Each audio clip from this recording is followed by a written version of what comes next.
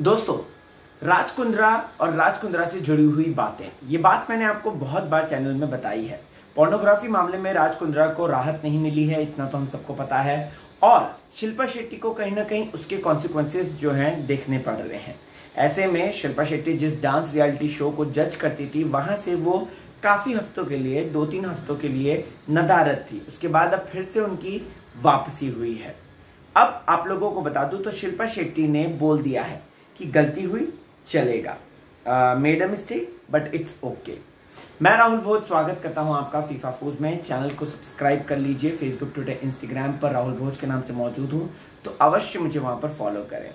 बात करते हैं दोस्तों कि शिल्पा शेट्टी क्या कहती हैं। शिल्पा शेट्टी सोफिया लोरेन का मिस्टेक्स को दोस्तों पोस्ट करती हैं, जहाँ पर लिखा है कि mistakes are part of the dues one page for a full life जी हाँ दोस्तों यहाँ पे ये लिखा है इस पूरे चैप्टर में एक्चुअली ये बुक का हिस्सा है दोस्तों। ये देखिए उनकी इंस्टा स्टोरी है।